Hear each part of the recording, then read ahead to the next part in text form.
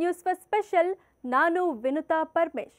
ಹಾಸನದ dirty picture ವಿಡಿಯೋಗಳ ಮಾಯೆ ಎಲ್ಲೆಡೆ ಆವರಿಸಿದೆ. ಕತ್ತಲ ಕೋಣೆಯಲ್ಲಿ ನಡೆಸಿದ್ದ ವಿಡಿಯೋ ಪ್ರಕರಣ ದಿನಕ್ಕೊಂದು ಟ್ವಿಸ್ಟ್ ಪಡೆದುಕೊಳ್ತಿದೆ. ಏಪ್ರಿಲ್ ಇಪ್ಪತ್ತೊಂದನೇ ತಾರೀಕೆ ರಾಜ್ಯಾದ್ಯಂತ ಪೆನ್ಡ್ರೈವ್ ಸ್ಫೋಟವಾಗಿದ್ದು, ಪ್ರಜ್ವಲ್ ರೇವಣ್ಣರದ್ದು ಎನ್ನಲಾದ ವಿಡಿಯೋಗಳು ಸೋಷಿಯಲ್ ಮೀಡಿಯಾದಲ್ಲಿ ಹರಿದಾಡ್ತಿದೆ. ಈ ಮಧ್ಯೆ ವಿಡಿಯೋ ಮಾಡಿದ್ದು ತಪ್ಪೋ, ಹಂಚಿದ್ದು ತಪ್ಪೋ ಅನ್ನೋ ಚರ್ಚೆ ಶುರುವಾಗಿದೆ. ಹಾಗಾದ್ರೆ ಅಶ್ಲೀಲ ವಿಡಿಯೋಗಳನ್ನು ಶೇರ್ ಮಾಡೋದ್ರಿಂದ ಏನೆಲ್ಲ ಶಿಕ್ಷೆ ಆಗೋದು ಗೊತ್ತಾ? ಕಾನೂನಾತ್ಮಕವಾಗಿ ನೋಡ್ತಾ ಹೋದರೆ ಎರಡೂ ತಪ್ಪೆ. ಯಾಕಂದರೆ ವಿಡಿಯೋಗಳನ್ನು ಮಾಡುವಾಗ ಇಬ್ಬರ ಸಮಮತವು ಇತ್ತ ಅನ್ನೋದು ಮುಖ್ಯ. ಬಲವಂತವಾಗಿ ಲೈಂಗಿಕ ಸಂಪರ್ಕ ಮಾಡೋದು ಎಷ್ಟು ದೊಡ್ಡ ಅಪರಾಧವೋ ಅಷ್ಟೇ ಪ್ರಮಾಣದಲ್ಲಿ ಬಲವಂತವಾಗಿ ವಿಡಿಯೋ ಮಾಡೋದು ಕೂಡ ತಪ್ಪೆ. ಅದು ಕಾನೂನು ರೀತಿಯಲ್ಲಿ ಅಪರಾಧವಾಗುತ್ತೆ, ಶಿಕ್ಷೆಗೆ ಅರ್ಹವಾಗುತ್ತೆ. ಅದೇ ರೀತಿ ವಿಡಿಯೋ ಹಂಚಿಕೆಯು ತಪ್ಪು. ಯಾಕಂದರೆ ಅದು ಬೇರೊಬ್ಬರ ಖಾಸಗಿ ವಿಷಯವಾಗಿರುತ್ತೆ. ಅದನ್ನ ನಾಲ್ಕು ಜನರ ಮುಂದೆ ಇಡೋದು, ಅವರ ಮಾನಭಂಗ ಮಾಡೋದು ಸಮಂಜಸ ಅಲ್ವೇ ಅಲ್ಲ.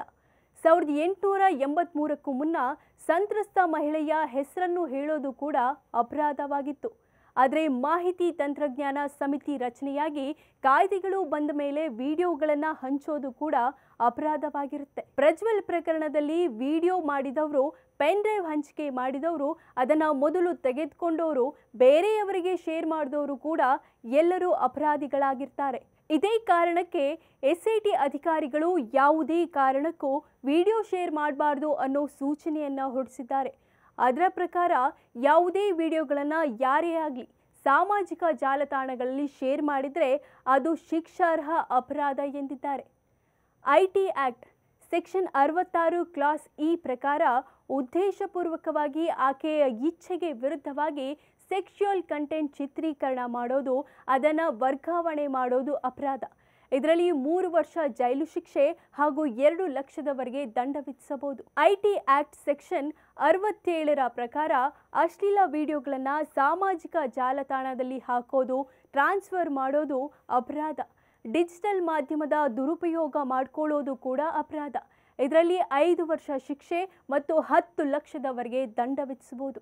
ಐಟಿ ಆಕ್ಟ್ ಸೆಕ್ಷನ್ ಅರವತ್ತೇಳು ಕ್ಲಾಸ್ ಎ ಪ್ರಕಾರ ಯಾವುದೇ ವ್ಯಕ್ತಿ ಸೆಕ್ಷುಯಲ್ ಕಂಟೆಂಟನ್ನು ಎಲೆಕ್ಟ್ರಾನಿಕ್ ಡಿವೈಸ್ ಮೂಲಕ ಪ್ರಸಾರ ಮಾಡೋದು, ಪೋಸ್ಟ್ ಮಾಡೋದು ಅಪರಾಧ. ಇದಕ್ಕೆ ಐದು ವರ್ಷದ ಶಿಕ್ಷೆ ವಿಧಿಸಲು ಅವಕಾಶವಿದೆ.